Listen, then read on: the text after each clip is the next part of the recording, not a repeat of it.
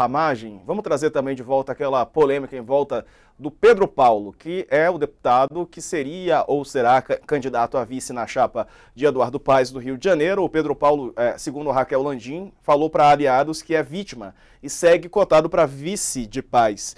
Eles jogaram informação né, para ver o que, que aconteceria com essa informação circulando e depois é, é, que a possível é, imagem seja realmente divulgada, ela já não tenha tanto potencial de causar é, qualquer tipo de. É, atrapalhar mesmo né, a campanha do, do Eduardo Paes, que tenta a reeleição no Rio de Janeiro. Então a Raquel conversou com pessoas próximas a Pedro Paulo que disseram para ela que ele teria sido chantageado por uma mulher que o gravou numa videochamada erótica e depois o procurou em busca de cargos, mas não foi atendida. Segundo pessoas próximas ao deputado, ele teve a intimidade invadida e que se fosse uma mulher estaria sendo defendido com base na lei Carolina Dickman. Mas eu acho que tem, né? não precisa ser uma mulher exatamente, né? no caso pode ser enquadrada a ele também caso confirmada essa tese. Em 2011, a atriz Carolina Dickman é, teve o computador hackeado e 36 fotos foram vazadas. Antes de publicar as imagens, os criminosos tentaram extorquir dinheiro dela. Essa versão foi endossada uh, na quarta-feira pela esposa do Pedro Paulo, a atriz Tati Infante, que, numa postagem nas redes sociais, defendeu que ele volte atrás e aceite serviço de Eduardo Paz. Eduardo Paes, perdão, na campanha. É, ela disse que achava uma besteira ele desistir de serviço por conta de um episódio que aconteceu em 2020, período em que estavam separados, numa crise. Ele caiu numa armadilha, numa armação, foi o que disse a atriz. Fontes próximas à campanha de Eduardo Paes acreditam que o deputado se antecipou a uma possível divulgação do vídeo que segue cotado para ser vice é, na campanha de paz, que ainda não anunciou a decisão final em relação a esse assunto. O cargo de vice é cobiçado também por PT, PSB e PDT. Paz lidera as pesquisas. A última Datafolha ele tinha 53% das intenções de voto e Pedro Paulo é, já teve envolvido em outras polêmicas, é, como por exemplo a acusação de que teria agredido a ex-mulher, o que ele nega. O caso veio à tona em 2015. Ah, depois ah, recuaram da acusação, atribuindo dificuldades no processo de divórcio. O inquérito terminou arquivado, então foi arquivado pelo então procurador Rodrigo Janot. Bom, Thales, é, parece que jogaram é, para ver o que, o que rolava, parece que já foi a repercussão né? É, acredito que, que o Pedro Paulo acabe voltando mesmo e, e, e, volta num momento importante, porque o Eduardo Paes também planeja se candidatar ao governo do estado do Rio de Janeiro daqui a dois anos, ou seja, o vice-prefeito vai assumir a prefeitura caso o Eduardo Paes vença essa eleição lá na frente. Eu ainda não considero certo a volta, volta do Pedro Paulo à candidatura dele. Por quê? Porque é toda uma polêmica chata muito chato. Quando você tem que explicar, é chato. Ele me ligou é, e, e, argumentou que esse caso antigo da agressão contra a mulher, etc., foi inocentado.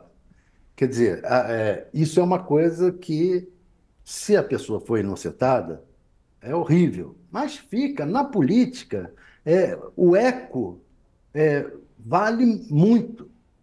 O Pedro Paulo é um, é um deputado operante, fez é, atuou como relator em, em, em fatos importantes, muito importantes, fez projetos importantes, é, é, um, é, um, é, um, é um bom deputado. Agora, é, esse caso aí da ex-mulher, da agressão contra a ex-mulher, se ele foi inocentado, realmente, mas fica o eco. Aí junta esse outro caso, que também é, ele está sendo vítima.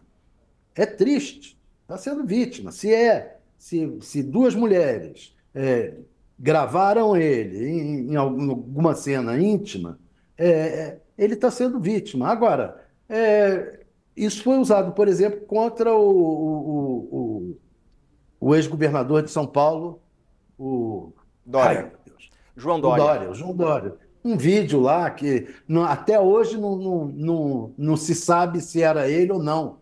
não é? Mas fica o eco, na política fica o eco, e o eco é horrível. Então, eu acho que é não, é, não, é, não é simples o Eduardo Paz recolocá-lo é, como, como candidato. E o Eduardo Paz já tem alternativas de pessoas. O que Eduardo Paz quer é não entregar a outro partido. ser alguém da extrema confiança dele e que esse alguém possa assumir como governador, como prefeito, quando ele for se candidatar a governador, o que provavelmente ocorrerá se ele for reeleito. Ele é um prefeito bem avaliado, se, provavelmente será reeleito. Em sendo reeleito, ele pretende concorrer ao governo do Estado mais adiante. E aí o vice dele assume como prefeito. Então ele, ele quer alguém da extrema confiança dele e não de outro partido. Essa era a dificuldade dele. Parece que já tem nomes aí nessa, nessa, nessa direção. Então, não sei, eu acho difícil ainda o Pedro Paulo voltar a ser o vice, mas é um deputado com, com história e com capacidade de continuar na vida pública durante um bom tempo. Apenas uma eleição majoritária agora, eu acho complicada para ele. É difícil mesmo. E aí, meu caro Cocho? Olha, em política, eu aprendi uma coisa: tudo que você tem que explicar muito, você já entra perdendo. Sabe? Não, adianta, você pode ter toda a razão do mundo, ser inocente e tal, mas depois que cai no. Até agora eu não consegui entender o que, que exatamente esse vídeo tinha, quem é que aparecia nesse vídeo. Fica aquele disse, disse. Mas ele, só o fato dele ter que ligar para jornalistas e se explicar já mostra que ele fica numa situação difícil. Agora, é muito. Aí não é só o cargo de, de candidato a vice-prefeito que está em jogo, mas é a cadeira de prefeito a partir de 2026, que a política seguir no rumo que vai hoje, o, o pai se reelege prefeito, e em 2026 é forte candidato a governador e o vice assume a cadeira, né? mais ou menos como aconteceu aqui em São Paulo com o Ricardo Nunes quando o, o Bruno Covas morreu. Né? Só que aí não, não é questão de morte, é questão de, de disputar um outro cargo. Né? Mas é, é receber de graça a cadeira de prefeito.